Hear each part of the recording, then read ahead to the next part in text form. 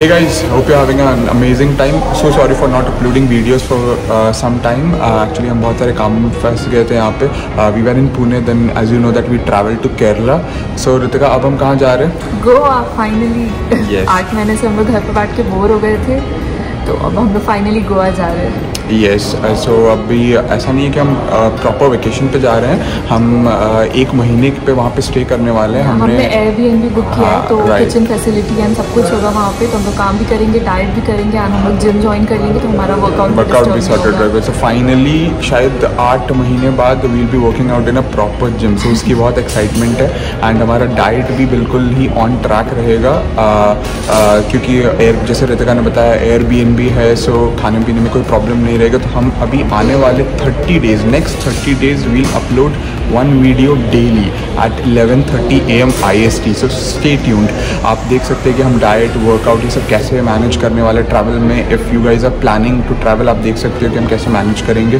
सब कुछ stay tune 11:30 M I S T every day so आज है एटीन ऑफ़ नवंबर सो कल जब आप ये वीडियो uh, देख रहे होंगे तो नाइनटीन नवंबर हो चुका होगा। सो स्टे ट्यून्ड राइट और हो सकता है हम लोग बहुत लोगों को इंस्पायर भी कर दे कि वो भी ऐसे कहीं कोई लोकेशन सेलेक्ट करके जाके वहाँ से काम कर सकते। हैं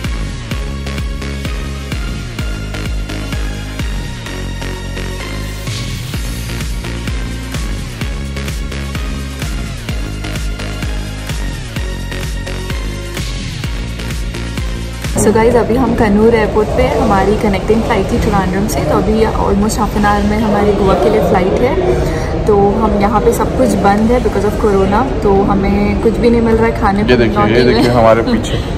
सब बंद है। हमें पानी का बॉटल भी नहीं मिल रहा है। राइट एंड सुबह से हम दोनों सिर्फ़ एक एक स्कूप वे प्रोटीन पी कर निकले। बहुत भूख लगी वी कांट वेट गोवा पहुँच के सबसे पहले खाने पे हमला करेंगे।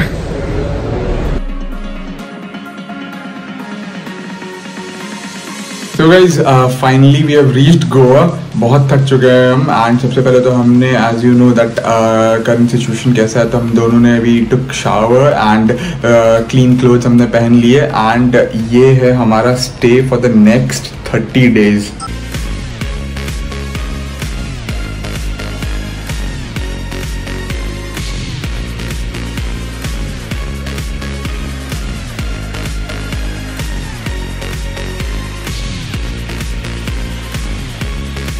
अभी आपको क्लियरली दिख नहीं रहा होगा बिकॉज़ रात काफ़ी हो चुकी है ऑलमोस्ट ग्यारह बज रहे तो हम आपको इसका कभी दिन में हम आपको व्यू दिखाएँगे। राइट right, हम अभी आप थर्टी डेज़ आप ऐसे भी आप देखोगे हमें यहीं पे टाइम स्पेंड करते हुए तो आपको क्लियर व्यू सब वगैरह दिख जाएगा। So okay guys good night मिलते हैं आपसे कल से।